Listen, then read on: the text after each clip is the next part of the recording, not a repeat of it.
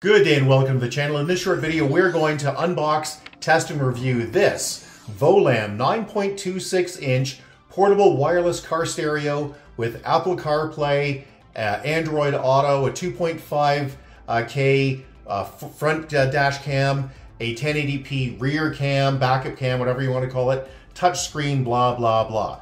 Now, why are we looking for this? Uh, well, we have a vehicle with a dead stereo. So it's a longer story, but that's what it gets down to. And so what we need is something with decent sound in it as well. Because we, while this unit will connect through FM or a cable or even through Bluetooth to the stereo that's built into the car, we can't use that because our stereo's toast. So this needs to have decent speakers.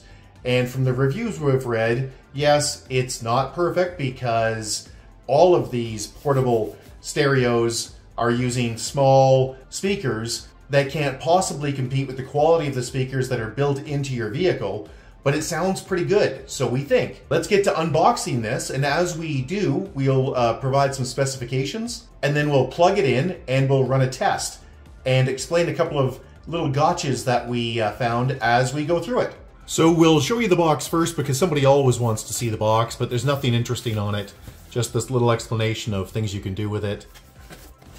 And the support, which is dc at umail.com. Now, we already dealt with them for something, and they were actually quite helpful, so that's a good sign. This gets to a good point, however. This is completely unsponsored. They haven't given us a penny, and uh, we sourced this through Amazon, but you can get it in many different ways, including avail it's also available at Best Buy. This is unpaid, unsponsored, so hey, if you found this useful, please give us the thumbs up. We'd really appreciate it.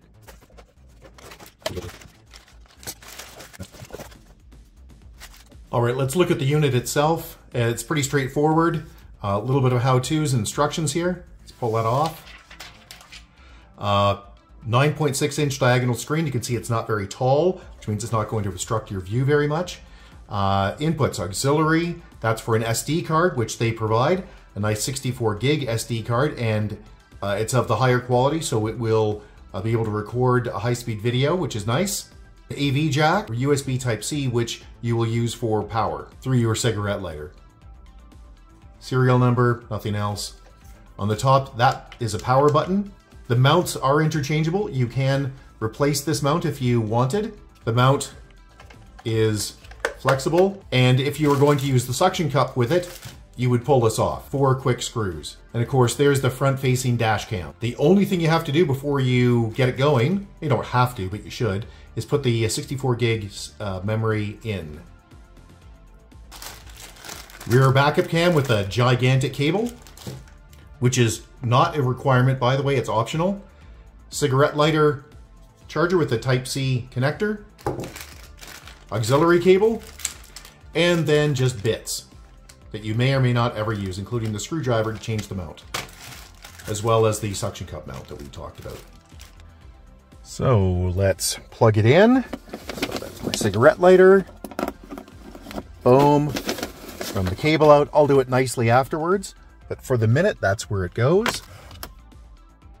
So the first thing we wanted to do when we had this powered up was to have it run with our phone and uh, just to test out the Bluetooth. So we went into went into here and thought we'd set up Bluetooth audio. No, no, no, no. This is the output. So the output, in our case, because we have a dead stereo, needs to come from speaker. Uh, we had tried uh, Bluetooth audio, but what that's going to do is if you have your stereo working, as you can see in the graphic here, it will allow you to push the audio from this unit to your stereo. Well, that doesn't work for us uh, because we have a dead head unit. We don't have a stereo. Uh, same with the FM. You could choose a channel and uh, this will broadcast uh, and your stereo could pick it up. Auxiliary, that's that little plug-in. Uh, but again, our entire stereo is dead, so we have to go back to speaker. We have to rely on these two speakers on the back. So we will go through this in order. Uh, the first thing was just simple Bluetooth music. Select confirm, and then on your phone, you just set it to pair which is pretty straightforward. There it is. Pair. Beautiful. So now if we play audio from here, it's going to come out of here. So there we brought up a nice YouTube ad. There we go, we'll stop that. And you can hear it's coming out of here. And we can turn the volume up on the phone. Also, we can go into the speaker and adjust the maximum volume that it would have as well. So that's the two places to adjust volume. One is on your source device, which in this case happens to be a Samsung S22, but would work just as well if it were an Apple iPhone. Let's go back to home. And uh, Android Cast, all it does is let you mirror your phone here, but it mirrors it vertically. There's probably a way to switch it, but we didn't figure it out quickly, so we're just going to leave that alone. AirPlay, I think you know what that is if you're an Apple person. All right, so most people are going to want to use Apple CarPlay or Android Auto. So how do you set it up? Not very hard. Click on Android Auto in our case, because we have a Samsung S22, which is obviously Android. And it tells you how to set it up, and let's just walk you through it. You swipe down from the top, in our case, and we go to our Bluetooth, and it scans for devices. There it is. Now, if you don't like that name, uh, you can go into your BT Manage and you can rename it. But we don't really care what it's called, so we will simply click on pair, available devices, pair, and bingo, it's up. So we can do things like, okay, Google, what's the temperature in Beijing, China? Currently in Beijing, China, it's 10 degrees. And that information is coming from Android Auto, which is really coming from our phone. And, and that gets to a good point. From what I can tell, this device doesn't have very much in it. It's really just a platform for these other services like Miracast or Android Auto or Apple CarPlay. Okay, Google. Navigate to work.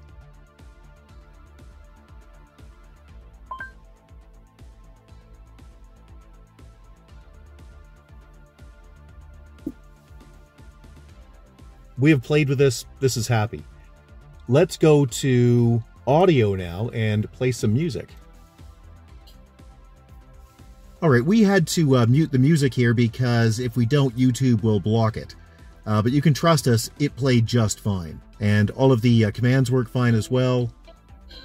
Whoa, what are you listening to this for? Wait, There you go. Backpack at 3.49% APR for 72 months with down payment. That's just 267 bi-weekly. Cash value of 40294 Plus, So the audio is quite loud, quite clear. Is it as good as your car stereo? Hell no. As for making calls, it works great. Okay, Google, call Safeway. Calling Safeway Chestermere Station.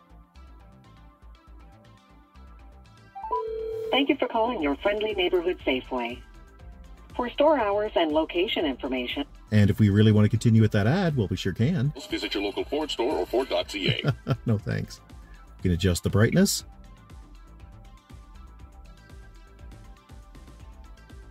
We'll leave it there. And let's go to the camera. We can stop it recording. That's using the front cam that's uh, that's there. And by the way, that front cam says that it's 2.5K. Don't be confused. It's just slightly better than a standard 1080p high definition camera. It simply means that there's 2500 dots across the top. It's an excellent camera, as you can see. Let's go back home, back to Android Auto, and you can see how fast and responsive this thing is. It's pretty good. All right, let's get out of Android Auto. We'll just go home, and we'll show you a couple of other things that are useful. So here are all of your settings, and uh, the one that we like is factory reset. Split screen mode is handy. Let's set it to split screen mode. And then let's go back to home and we'll select Android Auto. And you can see we've got Android Auto on part of it and split screen on the other. Yay. Now let's go back to home, go back to settings. Let's set auto dimming. Yes, it is on. We would like it to 71% brightness at these times. That's just fine. So you can see it's uh, quite a high resolution screen and you've seen that it's also quite responsive. So what haven't we gone over yet? The backup camera. It's a generic 1080p, which means high quality, high definition backup camera. So I have every expectation this will work just fine. So here's our review of the Volam 9.26 inch portable wireless car stereo with Apple CarPlay and Android Auto and blah, blah, blah. Yeah, we like this thing. It's fast. In other words, it's quite responsive when we're using it.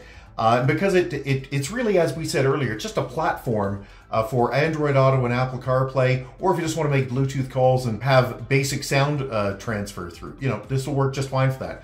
The uh, two speakers on the back seem to be of high enough quality. Uh, the standard for these types of devices is one 3 watt speaker, but and I believe these are two 3 watt speakers. Uh, does that make it uh, the highest quality? No, there's better out there, but uh, for $150 Canadian or let's say 100 and change US, it's pretty amazing. Probably the last thing you think about when you're buying a product like this is tech support. Uh, and these guys, I couldn't find a website for them. So I had to rely on the email that's on the box and on uh, Amazon, which is where we sourced it from. We found they were great. They got back to us within a day, pretty happy, and they came back with a reasonable response with a screenshot to answer a question we had. Yeah, we're pretty happy with it. We're definitely keeping it. So, hey, if you like this video, please give us the big thumbs up. Uh, subscribe's also always appreciated. They both really help with the Google algorithms. Uh, beyond that, if you have any questions or concerns, you can always get a hold of us directly at www.urtech.ca. That's www.urtech.ca. Or you can leave a question or comment below, and if we don't get back to you, somebody else will because on YouTube, everybody's got an opinion. Thanks and have a great day. Bye bye.